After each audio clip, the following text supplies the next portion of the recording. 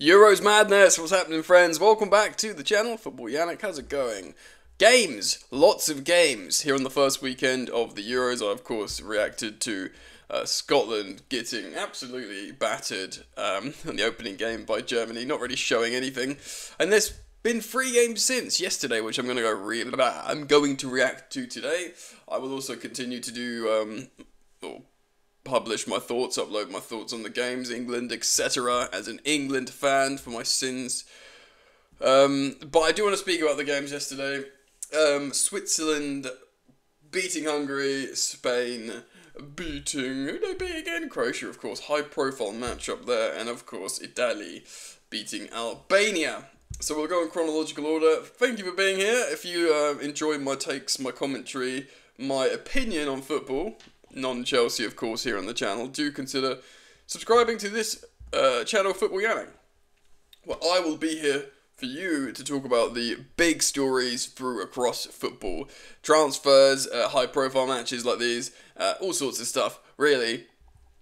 Uh, we're going to start with Hungary versus Switzerland. Um, and yeah, a lot of people had the Swiss as favourites here, and that proved to be the case. Uh, Embolo sort of still injured. He did come on at the end here. Uh, Hungary, I must, I must say, I don't know many of the Hungary players. I know Galatsky because uh, he had an amazing card on FIFA. Of course, you got Szoboszlai Lions, uh, Sezlai and stuff like that. I can't pronounce the name, excuse me. Um, and yeah, look, man, like I actually had a, not that I promote betting, but I, I had a uh, a bet builder on this that Switzerland to there'd be over two goals in the game and Switzerland to win both halves, and I got ten to one, and uh, they could have still had this scoreline one uh, to Hungary, three to Switzerland. Had Hungary scored their goal in the second in the first half, so they still would have lost the first half. Anyway, enough about my failed uh, accumulators or bets or whatever. Um, Switzerland did win. They did look dominant. Of course, they scored two first half goals, and um, yeah, Hungary didn't really. They looked really, really passive. They did come back into it. Of course, they scored their goal by Varga in the 66th minute. Looked like they could do a little bit and sort of applied some pressure to the Swiss. But of course, that man, Breel Embolo, comes on at the end, scoring a goal and just looking great, man. Embolo is one of those strikers. I think he plays for Borussia Mönchengladbach, doesn't he? But like, I don't think I know he's had any long term injury, but I never really see him doing bits for his club team. What I mean is when I see him play for Switzerland, he always looks like this amazing striker. He's always this just such high profile, really effective striker that just does the bits, you know?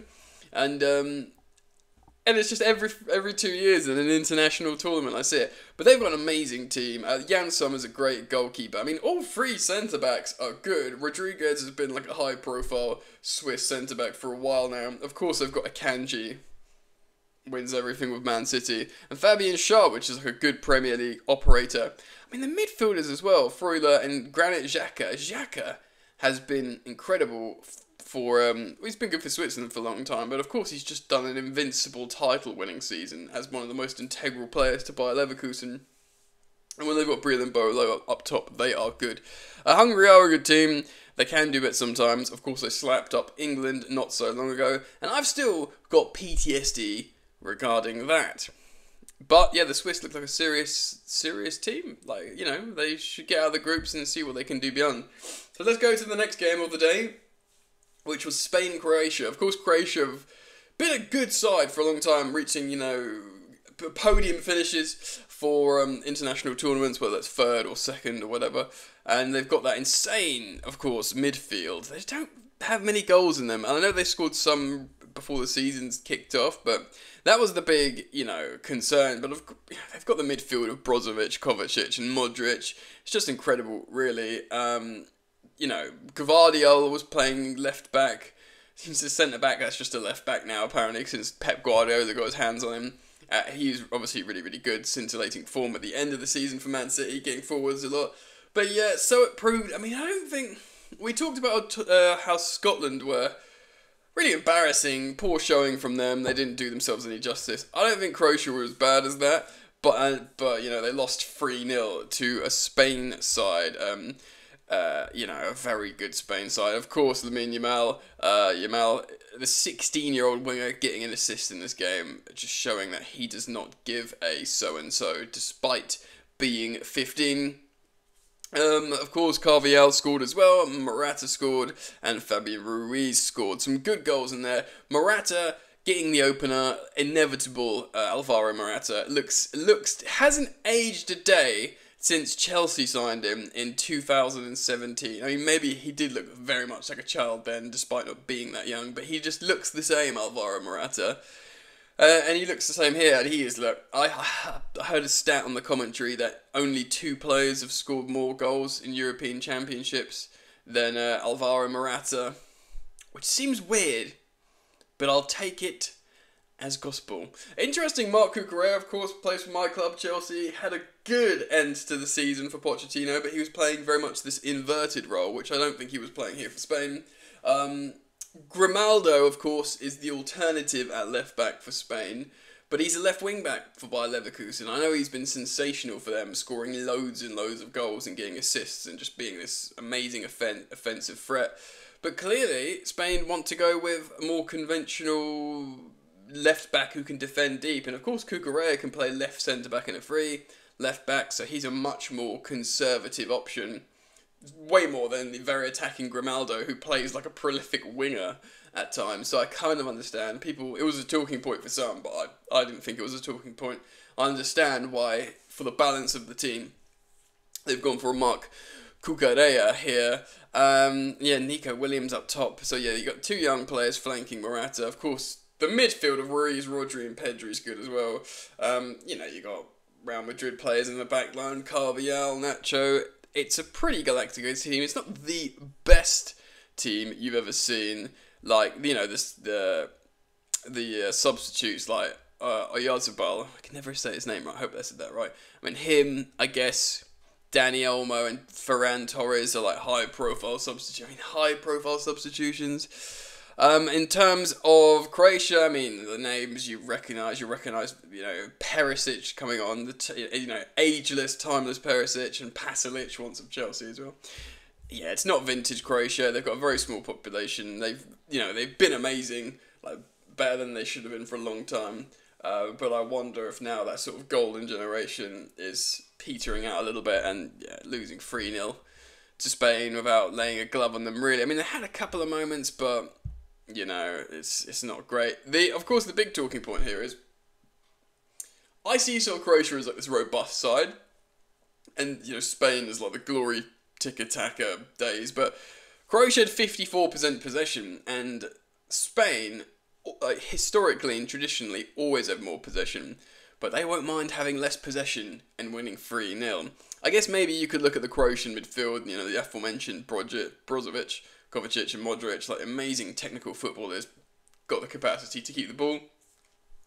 Still, um, yeah, like I said, they will not care one bit to have less of the ball and have three goals.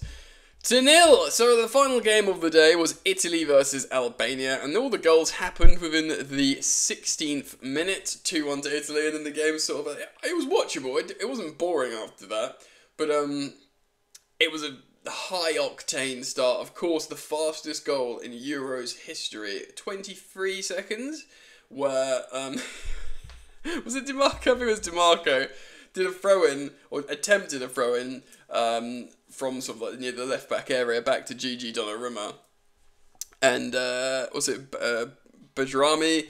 Just sort of picks up and goes, thank you very much, and slots it into the goal. Within 23 seconds, they'd gifted Albania a goal, which were heavy, who were heavy outsiders, of course. And uh, in the stadium, it was like, it looked like 80% Albanian fans, an incredible travelling support. Um, you know, not the best team. Of course, my affiliation with them, I mean, obviously they got Hysaj, whatever his name is, Hisai at uh, right back. Um, Asani's good as well, but Broja as well. The, we know from the Premier League, Chelsea player still garnering a lot of interest. Uh, cut a frustrated figure at times uh, up top. The thing with Broja, people who, who train him or see him train and coach him know he's an amazing striker, but you we just haven't seen it yet. I know he's still young. I know he had like an ACL, but I was saying on my Instagram that I feel he look he cuts a very frustrated figure sometimes to the point where it's his detriment, where he's like burning emotional energy through disappointment and frustration visibly visibly on the pitch. I know he's young, but I just feel like um, I think he might get inside his own head quite a lot. But uh, yeah, they get their goal, they get their moment 23 seconds in. Uh, it doesn't take long for Italy to respond. Uh, Bastoni, far post, you know, big man, big man defender, uh, sticking one in, and then Nico Barella, one falling to him, and he slashes it long range with a wonderful finish, and that's you know the 11th minute and the 16th minute respectively, and that's it. And then you know they have a few more chances. They probably should have sewn the game up, sewn the game up. Um, and yeah, man, like honestly, like um, Spalletti, the Italy manager, was a little bit frustrated post match. He feels like they tried too many passes and weren't direct enough and probably should have sewn the game up because there were chances towards the end of the game where Albania threatened a little bit. And when you've only got that precarious 2 1 uh, goal um, score difference, excuse me, it is tricky. But still, some good football, I think. And um, we're off to a flyer in Euro 2024. I can't wait to watch England probably give me a heart attack. Uh, I will react to those games as well. If you um, if you want my thoughts on how the games went, please do subscribe. It's nice to do just some Euro international content here on the channel as my screen somehow goes dark. Um, so yes, thank you. Do keep it locked, and um, hope to see you back here soon. Peace.